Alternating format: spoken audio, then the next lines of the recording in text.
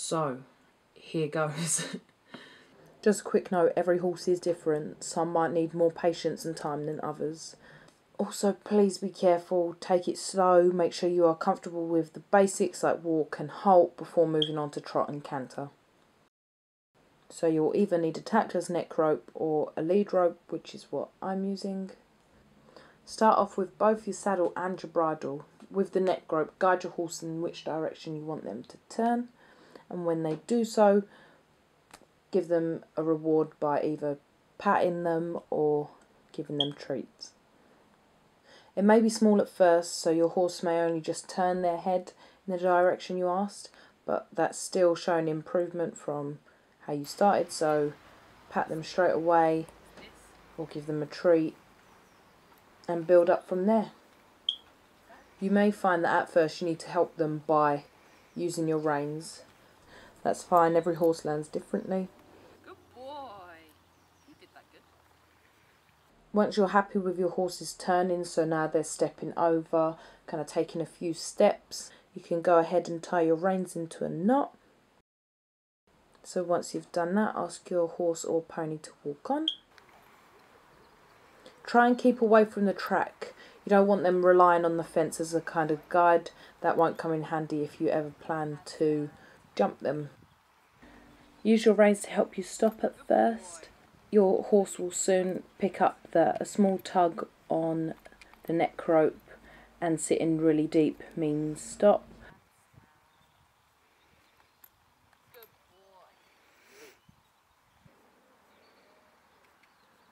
Do loads of circles, small circles, larger circles.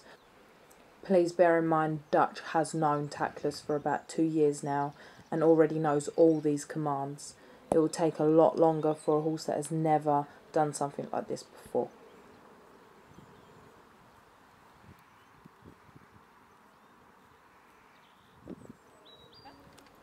Once you feel they are listening, you can go ahead and have a little trot.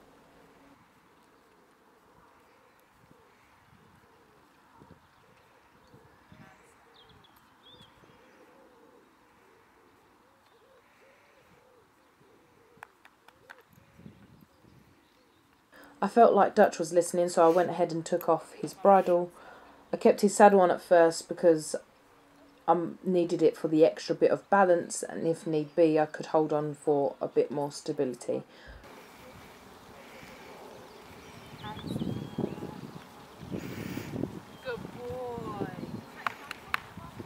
I just walked him round at first, changing the rein, doing circles, and when I felt he was ready, I asked him to trot.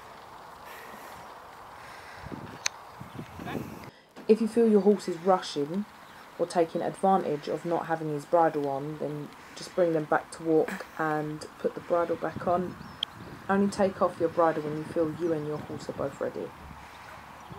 If you are both ready and your horse is listening, then do loads of walk trot transitions, trot halt transitions, halt trot transitions, changing the rein, really getting them concentrating and um, thinking about what you're asking them to do. Everyone remember that Dutch already knows all these aids when he's being ridden with a bridle.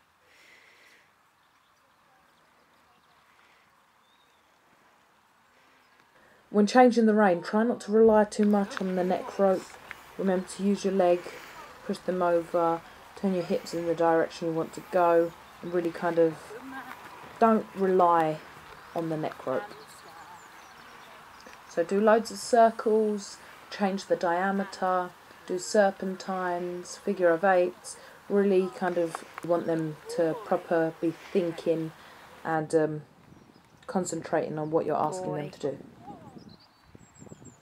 Once you're comfortable with your walk and trot, you can go ahead and ask them to canter.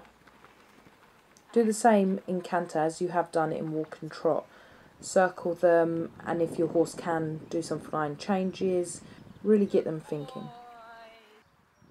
When you're happy with your horse's bridleless work, go Ah. ahead and remove the saddle. I'd recommend getting on using a mounting block. I couldn't because there were some people there, so I quickly just vaulted on. I'd just like to add that this horse is 17 hands high.